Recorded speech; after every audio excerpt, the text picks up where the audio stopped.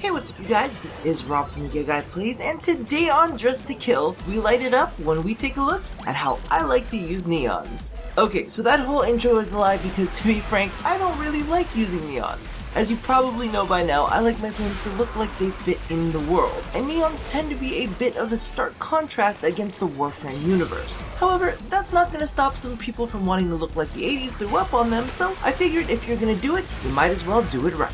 So my first tip is to combine neons with desaturated colors, as they are by nature quite intense and pairing them with other color-rich shades can be a bit of a strain on the eyes. I'd suggest pairing them with grays and off-whites. Note that if you intend on pairing them with black, find a more muted version of it rather than a pure black as those can be just as saturated and intense. My next tip is to limit the use of neons to accent tones, as they can be pretty overwhelming when used as a primary. In addition, this selective use allows them to pop against their more subtle surroundings, causing them to look brighter and cleaner as opposed to putting them front and center which tends to drown the rest of the color selections out. Moving on, I highly suggest never using more than two neons in a single color scheme. As I stated before, I prefer placing them in accent areas. However, depending on the frame, tossing it in the energy color can provide very eye-catching combinations and give a bit of an additional pop without completely taking over the rest of the color scheme. My last tip is that if you plan on using more than one neon, select your tones wisely. It's already a lot of look for one frame to carry, so take the time out to make sure that your shades work well with each other. Now with that said, let's get dressed.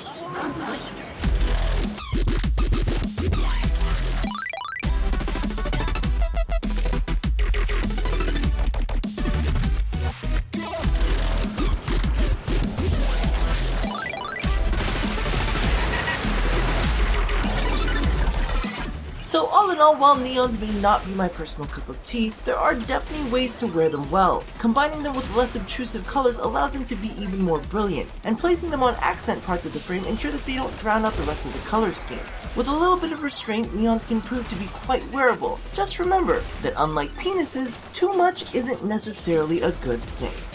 So thank you all for watching another episode of Dressed to Kill. Be sure to check out my previous episodes on customizing Nekros and Equinox, and if there's a certain trend that you think that I should cover, be sure to leave those in the comments below. Now, don't forget to do all the things that I ask you to do at the end of every one of these, and as always, stay drop dead gorgeous. one, I think there might be something wrong with your balls.